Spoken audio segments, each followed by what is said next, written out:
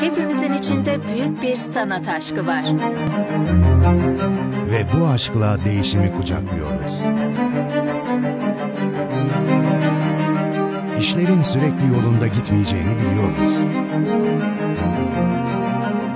Dünyadaki tüm sanatsal etkinlikler ertelendi veya iptal edildi. Olsun bir yolunu bulacağız. Ve tekrar sanat için bir araya geleceğiz. Sanat varsa her zaman bir umut vardır. Şartlar bize uymazsa biz şartlara uyarız. Dünyayı daha iyi hale getirme sorumluluğumuz var.